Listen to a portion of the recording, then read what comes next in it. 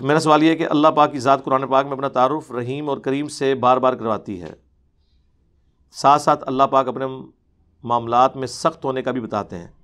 तो ये रहम वाला मामला और सख्ती वाला मामला दोनों की वजात करते हैं। दोनों की वजात यही है ना मेरे भाई, कि रहम वाले काम करेंगे तो रहम के मुस्तक होंगे, गज़ब को दावत देंगे तो गज़ब के मुस्तक होंगे। ज़ाहिर अम्बिया ने जो ये गज़ब की दावत कुरान के ज़रिए, बाकी किताबों के ज़रिए आई, इसीलिए ना कि अपना किबला दुरुस्त करो। अगर सिर्फ़ रहम ही रहम होता आज आप ज़रा अनाउंसमेंट कर दें कि अल्लाह की शरीयत की बेशक दजियाँ बखेर ले कोई दो में नहीं जाएगा।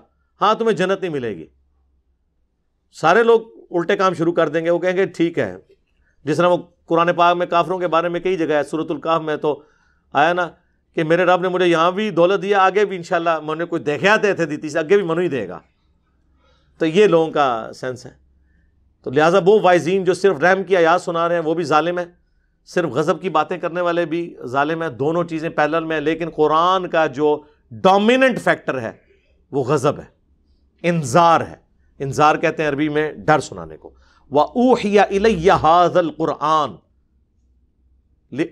कुम बिह वमम बलग। ए नबी, हमने कुरान इसलिए तुम्हें वही किया ताकि तुम इसके ज़रिए डर सुनाओ और जिस तक ये किताब पहुँच जाए। तो नबी इस्लाम का प्राइमरी मकसद क्या है? नज़ीर होना।